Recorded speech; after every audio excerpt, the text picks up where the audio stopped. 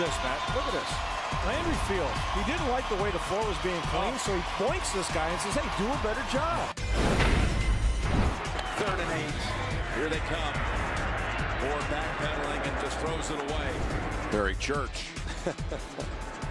hey, what's this? Well, you win a gold medal and you think all your troubles are over. Look at the piggyback ride given by the mascot to Melaine Walker. Oh! I don't guess he can see very well in that outfit.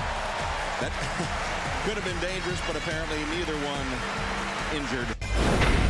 Steve Nash back the other way for the Suns. Off of the head of Grant Hill, who was running the lane and didn't expect to pass it. He's a little embarrassed. Oops. Tell you what, you're playing the NBA long enough, I guess that's going to happen to you, right? Steve Nash is laughing because he hit Marcin Gortat right in the head with the ball. That's a second game in a row that he's belted one of his teammates with a pass. Boston Garden, 1987. A fan climbs over the glass to confront referee Bill McCreary. Linesman Ron Asselstine comes to his defense, decking the man before he can get there. Hit that Bruins fan surely did not see coming. Carlos Boozer. Referee Danny Crawford finds out when you bruise, you lose. that play was nuts. Oh, my, that play was so nuts. That thing was great. Man, that was oh. nuts.